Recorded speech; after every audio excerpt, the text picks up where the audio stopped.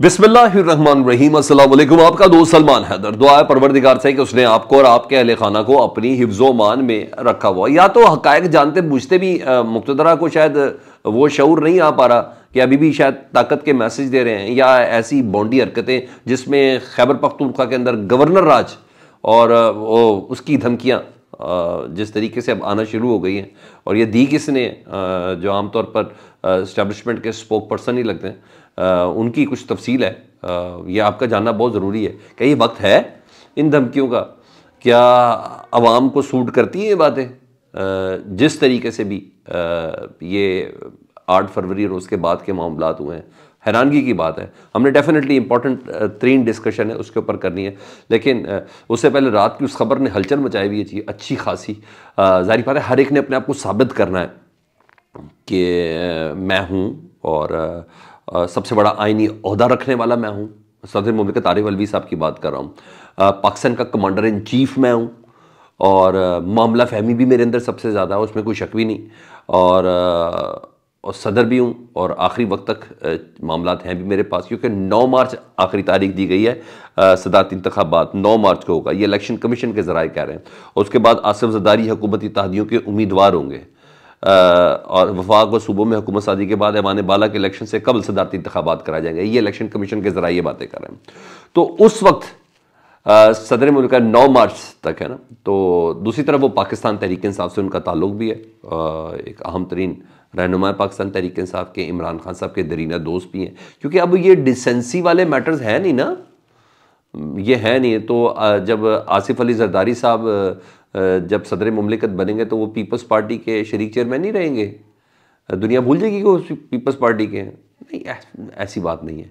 तो बहरहाल सदर आरिफ अलवी साहब ने आ, काम बड़ा डाला हुआ जी क्योंकि स्पीकर के इंतखब में पंजाब असम्बली के जो थे उसमें सिप्तान खान साहब जो स्पीकर के इंतखब दे रहे थे उसके हवाले से पाकिस्तान तहरीक इंसाफ को मायूसी है।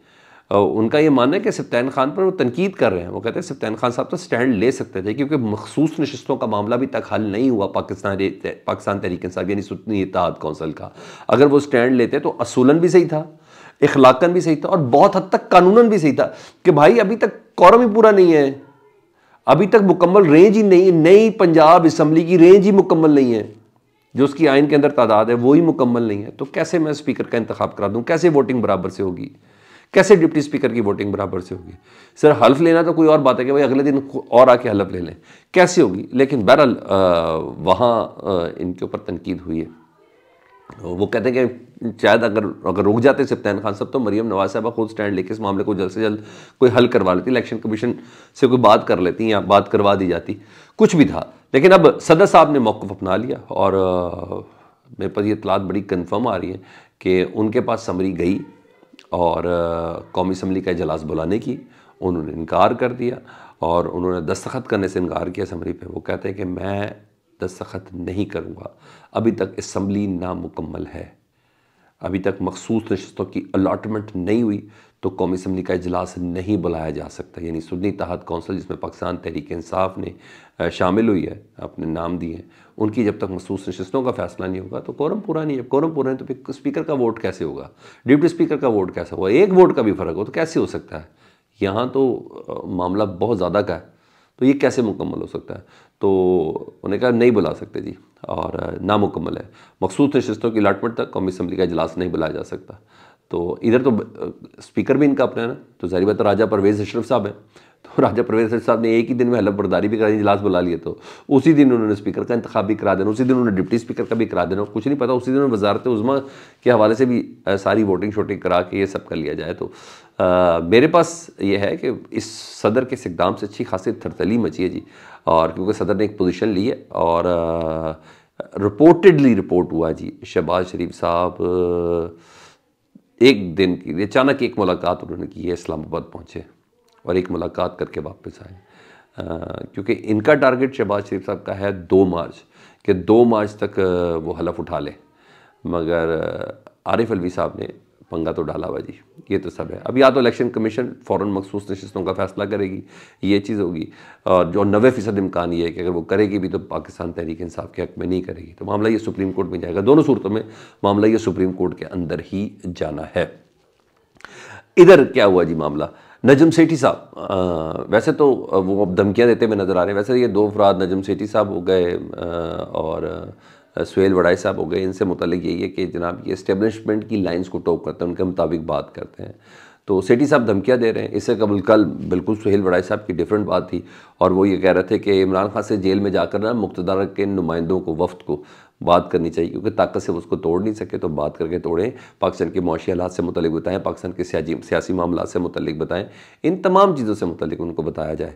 और फिर उन्होंने उन्नीस सौ सत्तर की मिसाल भी दी कि कौमी इतिहाद और पीपल्स पार्टी के अंदर किस तरीके से चपकुलें चल रही थी, कौमी इतिहाद की तमाम क्यादत जेल के अंदर थी, खून रेजी हो रही थी।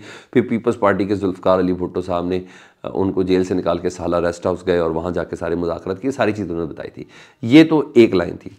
उधर नजम सिटी साहब कह रहे हैं, वो तो कह रहे हैं, कोई लचक ही नहीं होगी। वो कह रहे हैं, कोई लचक नहीं होगी। खान साहब के लिए इस्टेब्लिशमेंट बिल्कुल कोई लचक नहीं दिखाएगी। ठीक है जी? उस वक्त तक नहीं करेगी जब तक खान साहब मजबूर ना हो जाएँ। यानी मामला ताकत का है। ठीक है? खान साहब को कहाँ मजबूर करना? अभी तक तो वो हुए नहीं।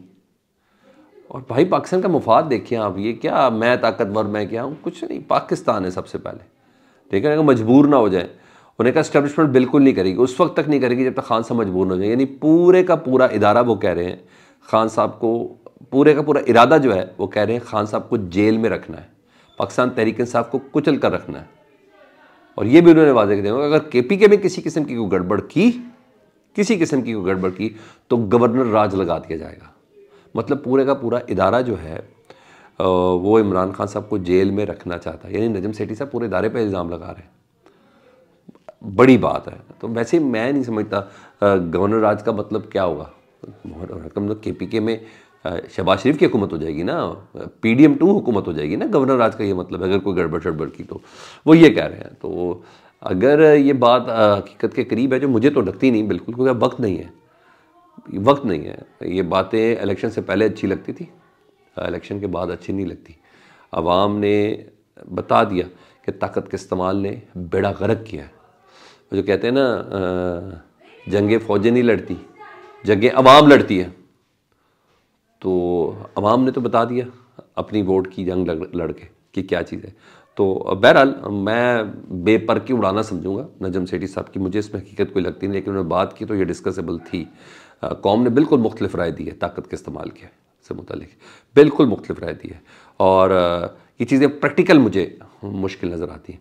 और भाई, उसको तोड़ना है, उसको सरेंडर कराना है, उसको क्या कराना है? अब ये वक्त गुजर गया, भाई, प्यार से बात करें, चीज़ों को ख़त्म करें, पाकिस्तान के हक़ में बेहतर करें, चीज़ों को आगे लेके चलें, मुआशी चैलेंजेस हैं, दीगर काफ़ी चैलेंजेस हैं पाकिस्तान के अंदर। इस चीज़ से कतर नज़र कि चीन ने पाकिस्तान का इंतबात को लेजिटिमेट कहा है और क्या कहा है? हु केयर्स सऊदी अरब ने कहा है हु केयर्स पाकिस्तान की आवाम ने कहा है इट मैटर्स हमने अंदर रहना है.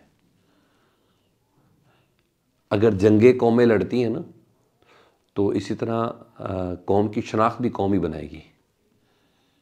इसी तरह अंदर खोखलापन हो और बाहर आपकी शोशा बड़ी हो जो हमारा आमतौर पर वतीरा है ऐसी शोशा का क्या फ़ायदा? फैसलों के पीछे आवाम खड़ी होती है। मुझे तो बस आज तक इसी चीज़ की समझ है। और यही शायद मेरी और आपकी ताकत है। यहाँ ये है। दूसरा, पंजाब असम्बली के लिए जी मुतलिक इजलास कल तरफ़ किया गया जी। कायदे ईवान चुना जाएगा जी, यानी सी एम चुना जाएगा। और आज पाँच बजे तक कागजात नामजदगी जमा होने हैं, उस पर जाँच पड़ताल भी होनी है। क्योंकि पाकिस्तान तहरीक इंसाफ के जो असलम इकबाल साहब हैं, उनको अंदर आने नहीं दिया जा रहा। तो राना आफ्ताब साहब, पाँच बार के सूबाई असम्बली के मेंबर रहे हैं, उनको नामजद किया जी। सुन्नी कौंसिल ने सुन्नी इतिहाद ने। तो कल बरोज़ पीर इंतखब होगा। बग़ैर मखसूस नशस्तों के। ये रोंदी है यार ये मज़ा नहीं आया मुझे। मखसूस नशस्तों का फ़ैसला होना चाहिए था। एक दो सौ वोटों की जीत से मरीम नवाज़ जीते मखसूस नशस्तों का फ़ैसला पहले होना चाहिए। तो बहरहाल शो ऑफ़ हैंड से होगा क्योंकि ये आ, वो कहते हैं खुफिया बैलेटिंग नहीं होगी। हाथ उठा के बताना होगा कि कौन किसके साथ खड़ा है? और कल ही मरीम नवाज़ साहब वजारत अला का मनसब भी संभाल लेंगी, हलफ भी उठा लेंगी गवर्नर पर तकरीब है और नवाज़ शरीफ साहब उसके मेहमान खसूसी हैं। अपना बहुत ज़्यादा ख्याल रखें फीडबैक से मुतल आगा करें। चैनल देखें तो चैनल सब्सक्राइब कर दें। अल्लाह मोहम्मद मोहम्मद।